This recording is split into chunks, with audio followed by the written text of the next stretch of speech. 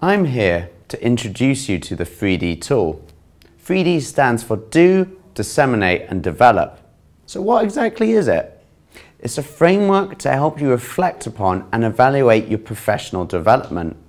It's not a box ticking exercise, but a template that will help you to focus on the skills that you need to do your research, to disseminate your research and to develop your research and career.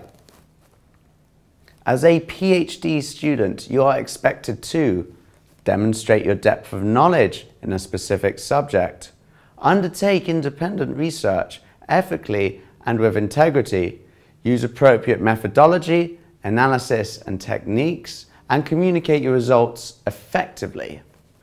That's a complex range of activities, right? You'll need to develop your skills in all of these areas which is precisely why you should use the 3D Tools Common Framework, which supports all Brunel research students. The tool will help you to improve your abilities and competencies, to review your research skills as well as your personal and professional attributes, to audit your current strengths and identify the steps you can take to meet your aims with training and development opportunities. To reflect on your past experiences, your current status, and also what you want to do in the future. So how do you access the 3D tool? Go to the Brunel Graduate School website, scroll down and click on the 3D toolbox you will find a link to download the template and also some videos about how to prepare for your 9 and 20 month reviews. As you can see on the form, on the first column, you'll see each skill category has subcategories and each one has some examples. These examples are not necessarily relevant to you, however, you can add as many of your own examples as you need for your own discipline and situation. So the skills you need to do your research are divided into information literacy, critical thinking skills, and research management. In the middle column, you will need to write about your experiences for each of these categories, evaluate your competencies, and also include relevant evidence, such as the training you have received or any practical experience that helped you to achieve the skill. You should also state what level it was. For example, undergraduate, postgraduate, or professional experience. The third column is your training and development goals for this year and in the long term.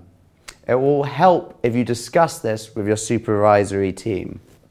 Skills to help you disseminate your research are divided into three subcategories, communication skills, engagement and impact, and teaching and learning.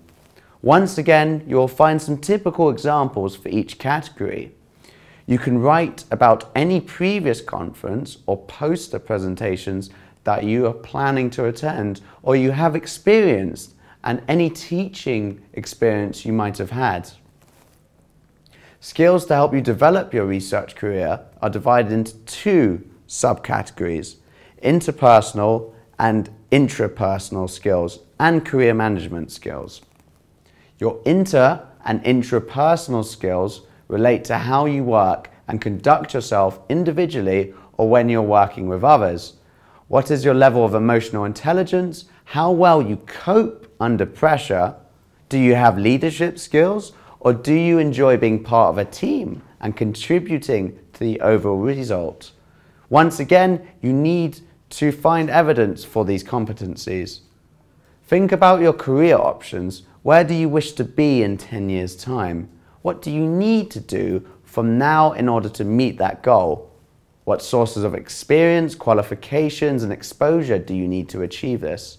Start building your academic portfolio. For example, public grants, supervisory and teaching experience in order to achieve an academic career, your skills portfolio, should evidence continuing professional development and experience the field that you would like to go into after your PhD. Set goals for this year and for the long term. This can be reviewed as a dynamic document and you will have many opportunities to review it in consultation with your supervisory team. Brunel Graduate School has a research development program offering professional development opportunities for all PhD students and research staff. These opportunities are matched to the categories and subcategories of the 3D tool.